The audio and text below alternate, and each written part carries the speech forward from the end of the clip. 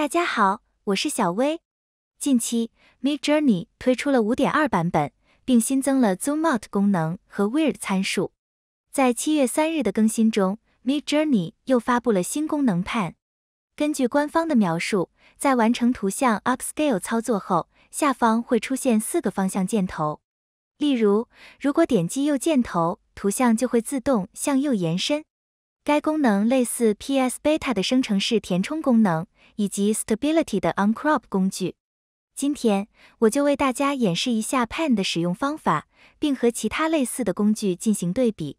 首先，我们来看一下 Mid Journey 社区的优秀作品：一、女性人物和都市夜景，大家可以看一下图像向右延伸的效果；二、吧台夜景进行了三次向右延伸；三、年轻的情侣在原图的基础上。分别向四个方向进行了多次延伸。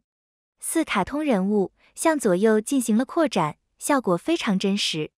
五科幻人物向下进行两次延伸，整体风格保持了高度一致。现在我就为大家演示一下最新的 Pen 功能。输入一段提示词，也就是赫本的肖像画，选择一张图像，点击放大。图像下方会出现多个选项，分别是 Variation、Zoom Out 等功能。在最下方还多出了四个方向图标，可以向指定的方向移动。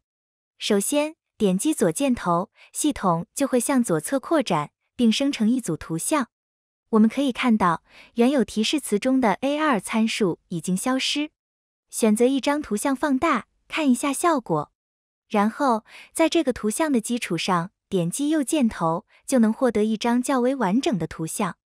我把图像放大，我们可以看到，在该模式下，原始图像不会发生任何变化。点击下方 Zoom Out 2x 按钮，还能继续放大图像。按照这个方法，我们可以将一张图像无限放大。大家可以看一下完成后的效果。保存原图，上传到 Stability 旗下的 Uncrop 平台，分别向四个方向延伸图像。我们可以看到，该工具最多只能延伸至一零二四乘一零二四分辨率。点击下一步，延伸后的图像效果则很一般。进入 PS Beta，导入同样的图像，分别向四个方向延伸，并使用 Generative Fill 功能完成智能填充。扩展后的图像基本和原图风格保持了高度的一致。把三张延伸后的图像进行对比，Mid Journey 生成的图像则更为真实。其次是 PS Beta Uncrop 的效果最差，对原图的风格和结构理解能力一般。测试第二组图像，新海诚印象派漫画作品，原始图像的比例为九比十六。点击右箭头，延伸后的图像多出了一个人物，不过整体画面显得更为协调。再次向右延伸，则可以获得一张非常完美的图像。点击下方 Zoom Out 选项，还能将图像进一步放大。如果你想设计宽屏图像，也可以把图像比例直接设置为三比一或者更高。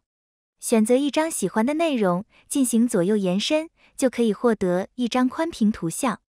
按照同样的方法，还可以通过上下箭头和 Zoom Out 设计竖屏图像。大家可以自行尝试。最后，我再为大家介绍一下5.2版本新增加的 Shorten 功能。在对话框中输入斜杠 Shorten，粘贴一段提示词，Mid Journey 就会对这段命令进行删减，保留有用的词条。我们可以看到，Mid Journey 会用粗体标注重点词汇，并删除了无用的词条。下方从一到五，提示词会逐步简化，最简洁的提示词仅由两个单词组成。点击数字下方 Show Details 选项，还能获取本段提示词中各个单词的权重分析图。本段提示词描述了一个具备神圣之美的女性人物，以及电影级别的照明。根据 Mid Journey 的分析，Sent 词条占据了主要的权重，Her 代表了人物的性别，位居第二。在本段提示词中，Mid Journey 提取了四个关键单词。现在使用简化后的提示词生成一组图像，和原图进行对比，整体风格非常相似。如果你经常使用 midjourney 进行设计，就可以利用该功能简化提示词，提高工作效率。今天的视频就结束了，感谢大家的观看，欢迎大家点赞、订阅、转发本频道。如果你有任何问题，可以在视频下方留言或者联系小薇。欢迎大家收看本频道的其他节目。